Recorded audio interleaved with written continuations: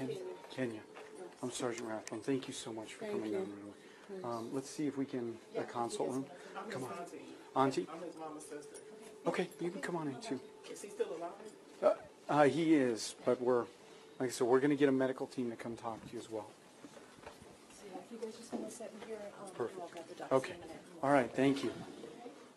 Where was he found? Okay, so that's, that's what I want to go over. Let me sit down so we can talk for a minute. So I'll kind of preface this with, you know, I just got on a few hours ago. This occurred last night. Um, so what happened is, it's been very difficult trying to, we were trying to identify him and then find out family, which brought us to your apartment today, and it was quite the ordeal trying to track you down. So the information I have is limited, but I'll give you everything that I have. There's just, I'll be honest with you, there's not a whole lot I can answer in the way of questions, um, but I'll give you what I can.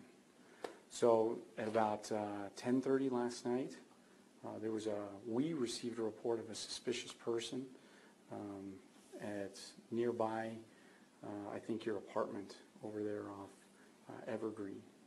Um, Officers were dispatched out, somebody else called it in. Um, There were some details about his suspicious activity. The officers showed up. Some sort of an altercation ensued and he was subdued. And then at some point during that as well, then he received uh, medical treatment. And sometime during the medical treatment as well, there was some, something happened from there to here.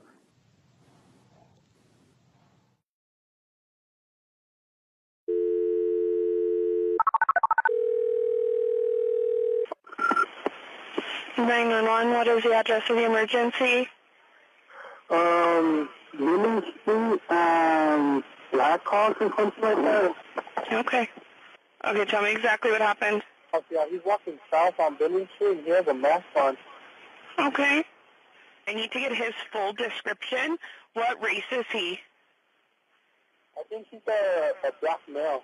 Okay. Um, how old does he look? I know he's wearing a mask. I have no clue.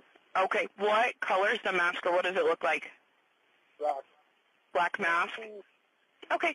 Um, give me one moment. I'm just adding notes. Are you or anyone else in danger right now? No. Okay. We have this call in, sir. Don't approach that person and do not disturb me. And so I don't have The a lot that of information. uh, encountered him, is he is he here right now? No, no. So, so here's, here's what I want to stress. There's, um, like I said, the information is very limited, um, because, Because officers One. involved. well, it's being investigated. So the whole thing's being investigated. Um, Our major crimes unit's involved. I've got contact information for them. Um, It's, like I said, I, I got on this morning, so I have very little information. So I've just been trying to find you guys all morning. Has he been shot, pain. tased? Not, not that I'm aware of. He's in intensive. He's in ICU. He Uh-huh. just was beat up. I, I don't know. I don't even, Allegedly, I, I don't even know that. did, I don't- okay, this, did someone else jump on him, or did these injuries come from him being subdued by the officers? I don't have any of that information. All I know is that we received the call of some sort of No, behavior no, trying. you do not have to come down here Prior because to you all and daddy that. coming down here ain't Okay. gonna bring the truth out. So, So somebody called the police on him while he was down the street from my house, because my son said he went to the store and he didn't return. And that's a three hours difference. And okay. And, and so I'm gonna, I'm gonna reach out. I'm trying to get a hold of, uh, the detective because I'm sure they'll wanna know some of the Somebody hurt information him as on well. Somebody jumped on him. So, Somebody jumped on him. They said he ain't So- shot or tased. Somebody jumped on him.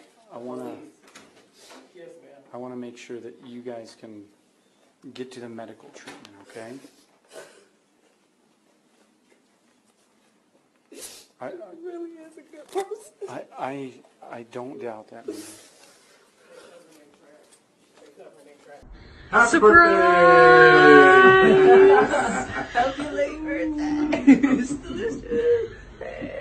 Happy Super late birthday. Nice. Go ahead, see. Hi.